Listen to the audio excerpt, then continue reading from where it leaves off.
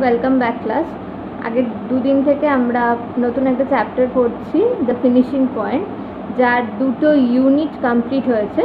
আজকে third unit পড়ব, আরও একটা ডে লাগবে, সেদিনকে ফোর্থ ইউনিট করব।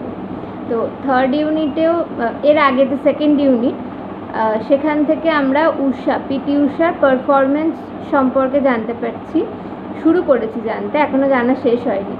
পিটি উষা কোথায় কোন কোন কম্পিটিশনে কী কী মেডেল পেয়েছেন, এই সমস্ত ব্যাপারে জানতে শুরু করছি।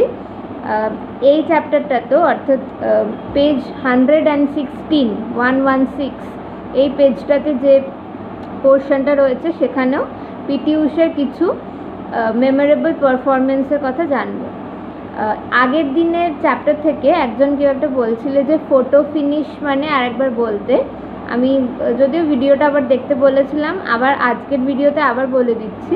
ফটো ফিনিশ মানে দেখো বইয়ের নিচে লেখা আছে ক্লোজ ফিনিশ মানে ধরো, যে থার্ড হলো, সে ধরো ধরো একটা টাইম লিমিট ধরলাম যে সেভেন পয়েন্ট ফাইভ সেকেন্ডে সেকেন্ড বলাটা ভুল সেভেন পয়েন্ট ফাইভ মিনিটে সে থার্ড হয়েছে।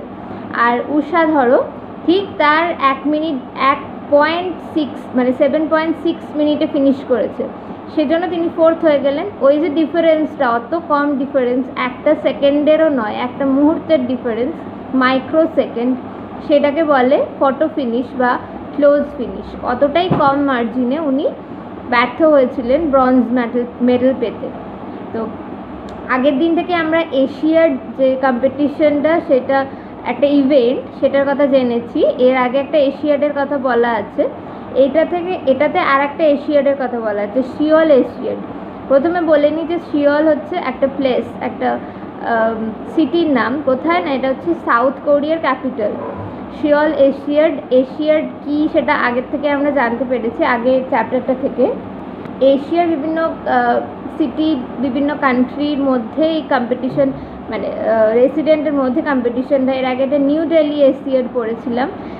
সেটা নিউ দিল্লিতে হয়েছিল, তাই নিউ দিল্লি এসিয়ার আর এটা এখানে যেটা পড়ব সেটা হচ্ছে শিয়ল এশিয়ার শিয়ল হচ্ছে একটা মেট্রোপলিটিস যেটা সাউথ কোরিয়াতে অবস্থিত। যাই হোক মানে সাউথ কোরিয়ার ক্যাপিটাল ওটা। বেশিরভাগই ক্যাপিটাল সিটিতেই হয়, যেটা পুরো কান্ট্রির মেন একটা হার্ট হয় মানে মেন প্লেস হয়। সেই জায়গাতে এশিয়াড কম্পিটিশনগুলো হয়।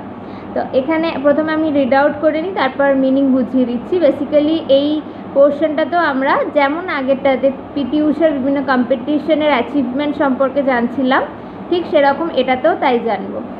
প্রথমে রিডিংটা করে নিই। কি বলছে না? In the nineteen eighty six Seoul এশিয়ার when Usha was just 22 years old, she became Asia's sprint queen by winning the 200 meters, the 400 meters, the 400 meters hurdles, and the 4 into 400 meters relay race. The next five years saw her grow from uh, strength to strength in the Asian tracks. Usha had became become an icon for Indian women athletes and a living legend in Kerala, where newborn babies were regularly named after her. আস্তে আস্তে মিনিংটা বোঝাচ্ছি। প্রথম দু তিনটে line জুড়ে বিভিন্ন কম্পিটিশনের অ্যাচিভমেন্ট রয়েছে।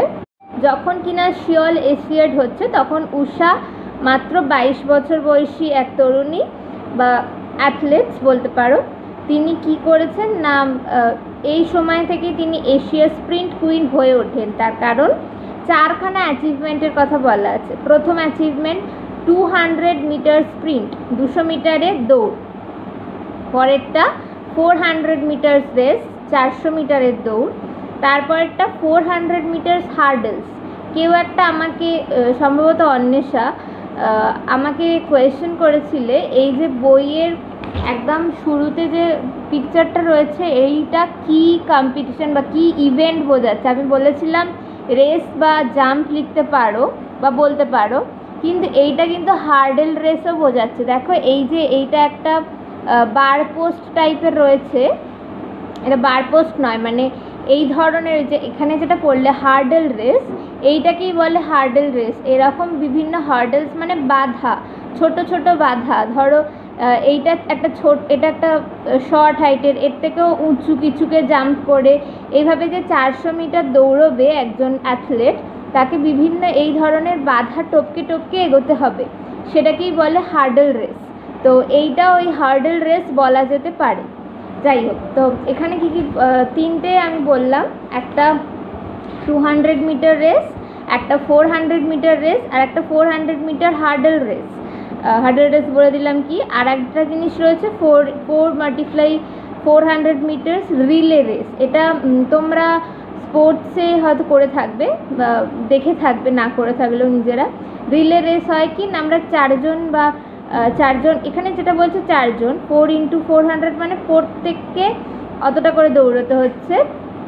প্রত্যেকে এক একজন চারশো মিটার করে দৌড়চ্ছে, সে আবার ফিরে এসে মানে ধরো এটা স্টার্টিং পয়েন্ট এখান থেকে দৌড়ে গিয়ে আবার ফিরে এসে এইখানে যে সেকেন্ড পার্সন দাঁড়িয়ে আছে, তাকে আমি যে রুলারই থাক বা যাই থাক, সেটা পাস করলাম বা রিলে করলাম, সে আবার দৌড়লো। এরকম করে করে যে লাস্ট ফোর্থ পার্সন থাকবে, সে ওই অন্য টিমের ফোর্থ পার্সনের থেকে যদি আগে পৌঁছতে পারে, তাহলে এই চারজন উইনার বা চ্যাম্পিয়ন এটা সুইমিংয়ের ক্ষেত্রেও হয় রিলে সুইমিং যদি কেউ কোনি সিনেমাটা দেখে থাকো, তাহলে ওখানে দেখবে, ওখানে রিলে সুইমিং ছিল। যাই হোক, এই চারটে কম্পিটিশনে উনি কি করেন না, জয়ী হন, অর্থাৎ গোল্ড গোল্ড পান, বা ফার্স্ট হন। তো তারপরে যে লাইনটা রয়েছে, তার পরের পাঁচ বছর the next five years saw her grow from strength to strength in the Asian tracks আচ্ছা এশিয়ান ট্র্যাক্স মানে বলতে চাইছে এশিয়াতে বিভিন্ন কম্পিটিশন এশিয়ার বিভিন্ন ট্র্যাকে ট্র্যাক বলতে দৌড়ের যে পথ, সেটাকে বলছে ট্র্যাক সে বিভিন্ন পথ ধরে এশিয়া কান্ট্রি এই সরি এশিয়া কন্টিনেন্টের বিভিন্ন কান্ট্রিতে বিভিন্ন কম্পিটিশনে শুধুমাত্র তার গ্রোথ দেখেছে এই পাঁচ বছর, পরের পাঁচ বছর। অর্থাৎ বাইশ বছর থেকে তার সাতাশ বছরের জীবন। এই সময়টা শুধু তার কেরিয়ারের উন্নতি হয়েছে বা চারপাশের লোকজন তার গ্রোথ দেখেছে। শেষ দুটো লাইন একটু অন্যরকম বলা বা কি বলা আছে না, উষা একজন আইকন মানে এখানে বলা আছে দেখো সিম্বল আইকনিক ক্যারেক্টার মানে ধরো যে ক্যারেক্টারটা সম্পর্কে একটা অনেকে জানতে পারে বা তার সম্বন্ধে সে সে অন্যজনকে উদ্বুদ্ধ করে ইন্সপিরেশন দেয়। এরকম ক্যারেক্টারকে আমরা আইকনিক ক্যারেক্টার বলতে পারি। সেরকম উষা একজন আইকন হয়ে উঠেছিলেন ওই অ্যাথলেটস জগতে, বিশেষ করে মহিলা অ্যাথলেটসদের কাছে। তারা সবাই চাইতো যে তার মতো পারফর্ম করতে, তার মতো হয়ে উঠতে। সেই জন্য উনি একজন আইকন বা সিম্বল বা প্রতীক হয়ে উঠেছিলেন। আর লেজেন্ড মানে এখানে বলা আছে famous person or story legend কথাটা মানুষের ক্ষেত্রেও যেমন যায়, সেরকম গল্পের ক্ষেত্রেও যায়।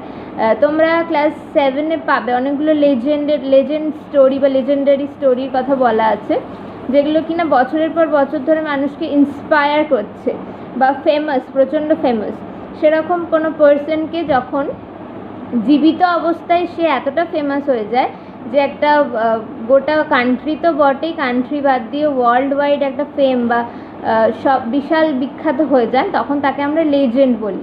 সেরকম উষাও একজন কেরালাতে, বা যেটা ওর নিজের সিটি সেখানে বা স্টেট সিটি বলা ভুল, Kerala is a state so সেই স্টেটে একজন এতই জনপ্রিয় ব্যক্তি হয়ে গিয়েছিলেন, জীবিত অবস্থা বা অত কম বয়সে, সেই জন্য এখানে বলা রয়েছে যে তিনি একজন লিভিং লেজেন্ড হয়ে ওঠেন কেরালা আর লাস্ট যে লাইনটা বলা আছে, এটার একটা সদ্য একটা এক্সাম্পল খুব ভালো দিতে পারি।